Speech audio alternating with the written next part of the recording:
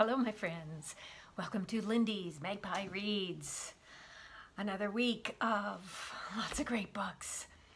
So, earlier this week, we had a visit from Joni's mother, um, and so I just showed a little clip of Joni and her mother Nikika playing in the yard. We have had uh, almost spring weather. A few more little spring bulbs are coming up and so I will include photos from the yard at the end of this video. Um, yesterday I went to hear Cherie Dimaline speaking at the Canadian Literature Centre giving a lecture about an anthology of monsters, how story saves us from anxiety. If you're not familiar with Cherie Dimaline, she wrote The Marrow Thieves and then the follow-up to that, which is Hunting by Stars, and she also wrote an adult novel, Empire of Wild. And yeah, it was it was great going to a live literary event and she had lots of good things to say about storytelling and anxiety. Also this week, I saw a play. It was the world premiere here in Edmonton, written by an Indigenous playwright, a Cree man named Kenneth T. Williams, who lives here in Edmonton. He's from the George Gordon First Nation. And the herd is, kind of an indigenous version of Ibsen's An Enemy of the People. So what happens are these twin white bison that are born to a, a herd that belongs to a Saskatchewan First Nation. And the science versus spirituality is part of the, the big issue in it. Also social media and ownership of genomes. It was, it was pretty cool. Um, at the end of the play, I really thought a lot about the ending. I'm going to get back to endings in a bit. Um, but I also want to mention that one of the actors has cerebral palsy, uh, and he was a main character. His name is Dylan Thomas Boucher, and he's Cree and Dene from Fort McKay First Nation in Alberta. I love it that uh, local theater is casting actors that have disabilities, and it's not something that's mentioned in the script, um, just reflects our society. There's all kinds of people here. Yeah. I don't know if this play is going elsewhere, but I would suggest watching for it. So I read, I finished 12 books this week. No bales, but I almost had a bale. I'll get to that. There were three audiobooks, three picture books. I'm not going to talk about the picture books today because I made a separate video about them. Uh, there's that picture this readathon going on. There'll be information linked down below to the video as well. Um, one was a cookbook and I also made a separate video about that which I will link down below. There are two poetry collections, um, one speculative fiction graphic novel, and two of them were books of essays. Two books qualify for the Disability Readathon. Uh, that's something that Erin Hawley and Anna G are hosting this month. I'll link the information. And I also read three books by LGBTQ plus authors of color last week. When I finished the Descender series, um, I talked about it in my Friday reads and I said, I wasn't sure about the ending.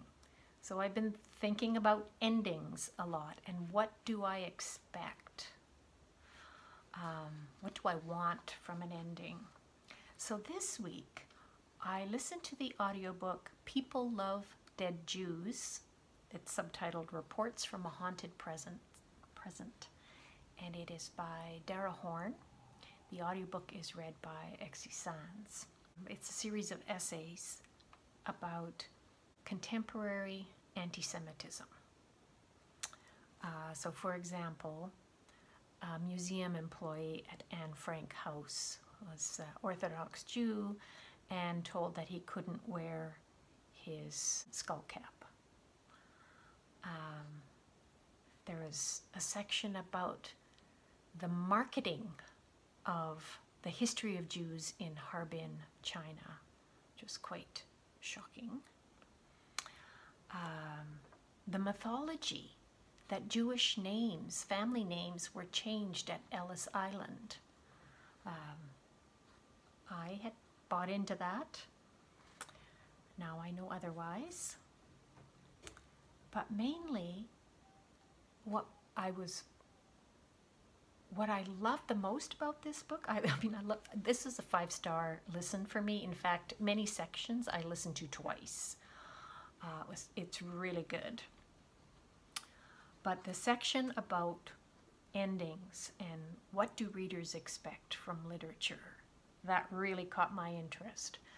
So, Dara Horn says that in Western literature, we expect that the good guys will be saved. Or if that doesn't happen, then the main character will have an epiphany. And if that doesn't happen, then at least the author gives us a moment of grace.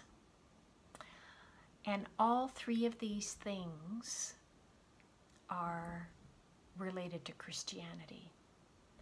She says that literature in Jewish languages, Hebrew and Yiddish, uh, don't have this kind of an ending. Often there's no ending at all, and this reflects uh, their holy books. So, for example, at the end of the Torah, the Israelites don't actually get to the promised land, it stops before that. And she gives examples of Jewish novels that she really likes that don't have an ending such that we would or what we would think of as an ending. So it all got me thinking so much. Yeah. That's great. I really, really like that audiobook. So I did read the continuation uh, from the Descender series. So the new series that follows up, it starts about 10 years after the end of The Descender. So volume one is The Haunted Galaxy. So this series is Ascender, still by Jeff Lemire. It's still illustrated by Dustin Nguyen. And the art is fantastic. We've got um, the two main characters from Descender had a child, and the child's now 10 years old, and it seems to be at the center of this. Cats and dog are having a little spat over there. Okay, it's all good. Telsa is back. Happy to see that. And so is Bandit, the robot dog. So I am ready to move on to the next volume in this series enjoying it. And last week I talked about a middle grade novel that's on the Lambda Literary Award shortlist. Hazel Bly and the Deep Blue Sea. It's by Ashley Herring Blake. And it didn't really work really well for me. It was okay. Today, or this week, I read a similar book that I enjoyed so much more. It's called A Comb of Wishes and it's by Lisa Stringfellow. The audiobook is read by Bahni Turpin. Lisa Stringfellow is from Barbados, currently living in the US. And this novel is about a 12 year old girl on a fictional island. Uh, but she is grieving her dead mother, and there's a blend of contemporary uh, setting with Caribbean uh, folk folklore elements. It grabbed me from the beginning. Um, the mermaid in it is uh, scary and yet quite developed. Um, so the mermaid aspect is is also what's similar to Hazel Bly and the Deep Blue Sea and the 12-year-old grieving death of her mother. Uh, and there's another book that I thought of as I was thinking about these two books. It's one that I read a number of years ago. It's called Keeper. It's by Kathy Appelt. Also about a girl grieving her dead mother and thinking that she's a mermaid in the ocean. So I don't know what it is about girls missing their mother and mermaids, but anyway. The third audiobook that I listened to is the one that I nearly bailed on. It's called Tides by Sara Freeman, and it's read by Amy Rutherford. Her reading was fine. Um, Sara Freeman is a Canadian writer, and this book is eligible for Canada's Giller Prize. And that is the main reason why I stuck with it because this will be my third year of being on the shadow jury for the Giller Prize. And I wanted to at least say that I'd read the whole thing before saying there's no way it should be on the Giller long list. It should not be on the Giller long list. I mean, it. I've seen good reviews. Um, there's been comparisons to the writing of Jenny Offill and Rachel Cusk and Sheila Heti. I like all three of those authors. And as I was reading it, it also reminded me of a novel by Catherine Lacey called Nobody is Ever Missing. Um, I also was reminded of Winter in Sokcho because it is set in an off-season beach town and how bleak it gets during the winter. But all of those books or authors that it's compared to, I like all of that. Why didn't Sara Freeman's book work for me? Too flat, I think. Uh, it is about a woman who tries to escape her grief by um, kind of running away from everything. She leaves everything behind and goes to this coastal town, uh, has practically no money. And of course, your grief comes with you. Uh, she has all this self-sabotaging behavior, which annoyed me. Um, there's a romantic relationship, which annoyed me. And um, what is good about it? Definitely an internal journey about coping with grief. Eh. There's plenty of better books on that subject. Okay, into the poetry now. First one, also by a Canadian author, is called Landings, Poems from Iceland. So the author lives in Vernon. Um, his name is Harold Rhenisch, but he has uh, done writers' residencies in Iceland. I loved the nature writing in the poetry in here. Each poem is tied to a place. And what I ended up doing was I'd read the poem and then I'd flip to the back where there's a key to each place, the English explanation of the Icelandic name, and just a little story, a few sentences about that place. And then I'd go back to the poem and read it again. And I found that knowing a little bit of background about the place did help.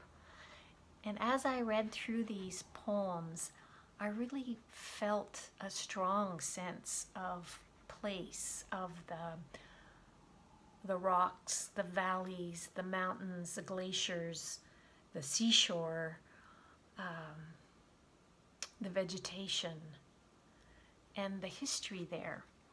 There's a lovely introduction, uh, a little bit about the history of Iceland, uh, where people have lived there for uh, 1,100 years since it's been settled. And the Icelandic language is very similar to Old Norse, and English used to be very similar as well. And the, a lot of the language that the poet has chosen are the English words with the roots in Old Norse. So simple, simple words. Um, I'll just give you a few samples. Water drops off the edge of the world, sheds its light, and there, not then, is itself alone. In any other country, the sky's tatters would be declared a hurricane. Here, it is called day. So much wind.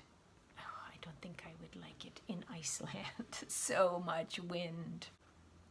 And now I'm getting into the next three books that are all by queer writers of color. Starting with this collection of poetry, You're the Most Beautiful Thing That Happened, and it's by Arisa White, who is African American, a lesbian. And what she's done is she's uh, used words from around the world that are derogatory terms for being gay and made poems from them. So I did almost the same thing as I did with Landings and I read the poem, um, say this one that's titled Auntie, and then I went to the back to read where the word anti um, is used. Literal meaning for the derogatory Slovene term tetka and the French term tata. And then often I would read the poem again. Um, some of these poems are pretty lusty.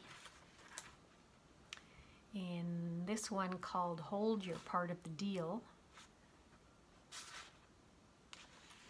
you're thirsty and any old tap won't do. It becomes a joke about how you U-haul, you and her till dying. And when seasons come and go, days linked to scents, her cycles, and you learn no tomatoes, extra mayo, always on white.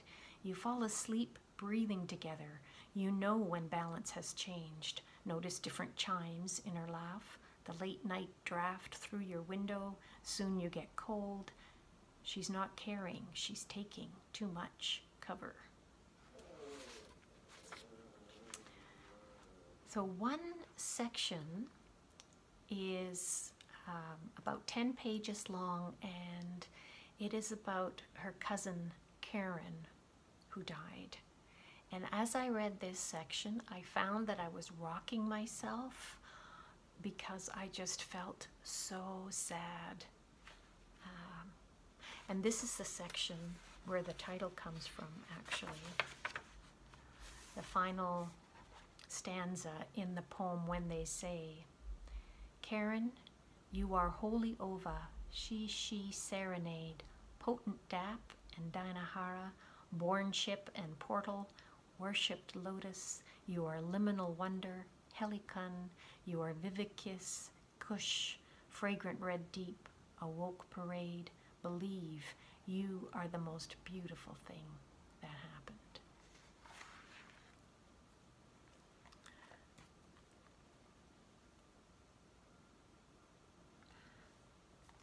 She has a lot of, or the, the narrator in these poems has a lot of different lovers. Kind of made me tired. but uh, for you young folk, check it out. Next up, one long essay, kind of a memoirish essay. It's called The Breaks by Julietta Singh. I'm going to pop the picture of the cover in because I just love this display font on the title so much. And I want you to see it up close. Julietta Singh is a Canadian with uh, her mother is white and her father is uh, South Asian.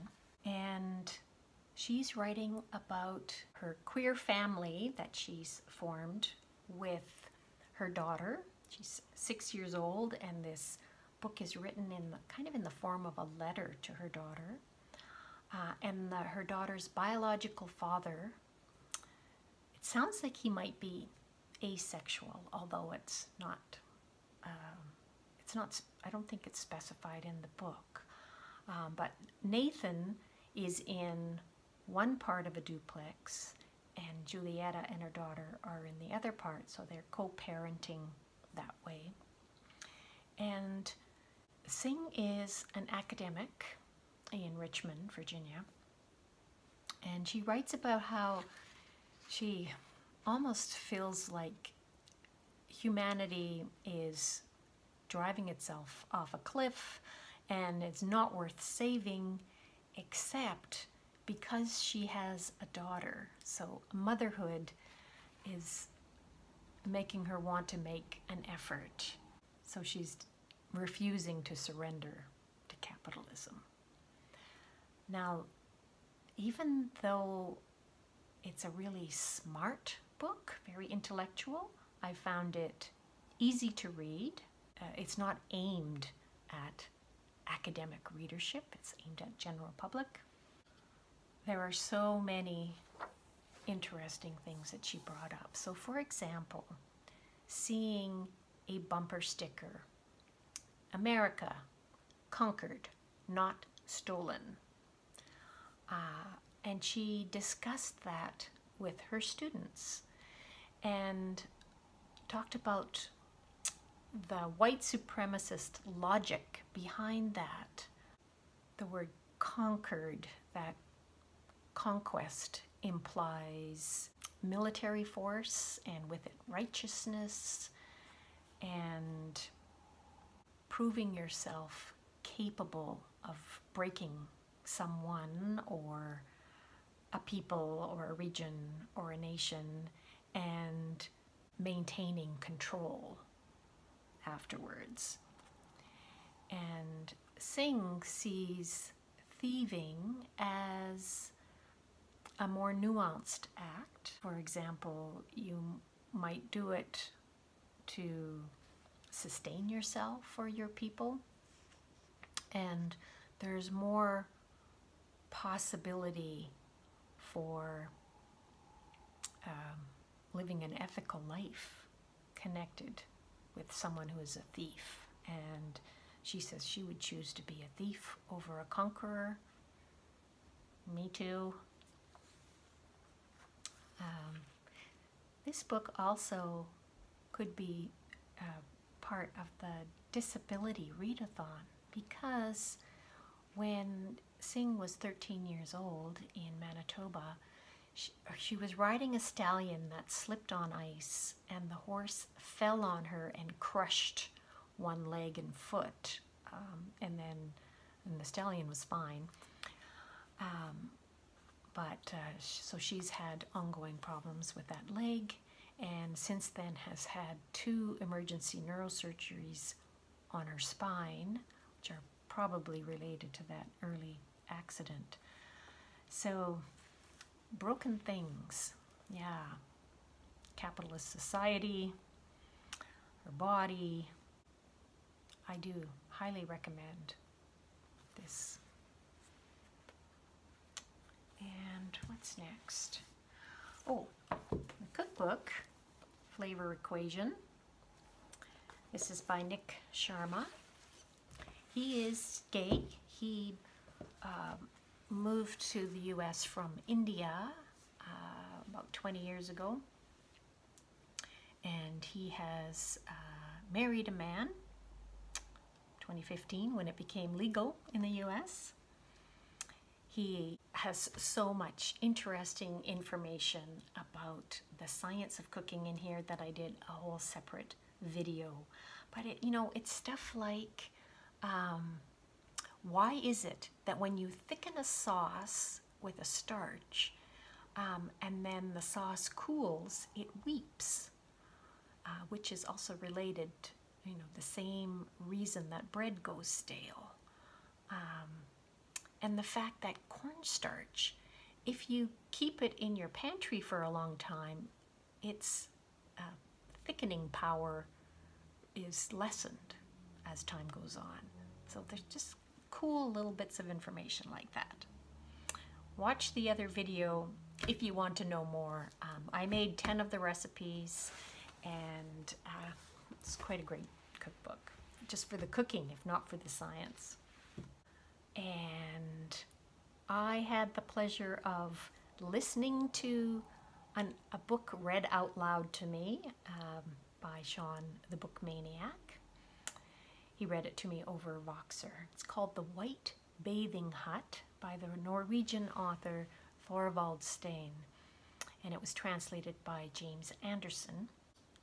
Thorvald Steen has a type of mus muscular dystrophy um, that is the same as the main character in this novel, so it's quite autobiographical. The, the main timeline is a man who is in a wheelchair and just for a few days he is alone um, various circumstances and he falls he, he's just lying on the floor thinking about his past and especially his relationship with his mother. Very difficult relationship. The whole hereditary illness, family shame, and the way it's tied into the history of eugenics in Norway is all very interesting and I found it quite a moving novel. I recommend it. I'm going to link to a film trailer about the life of this author, Thorvald Steen. It's called The Art of Whistling. I haven't seen the film, but the trailer looks interesting. And last up, three picture books, all with a very retro aesthetic graphic design and I made a separate video about that so I will link to it. And that's it for this Friday Reads. Thanks for sticking with me. Thank you so much for watching. I love to hear from you so please lots of room for comments down below and I will see you all in the next one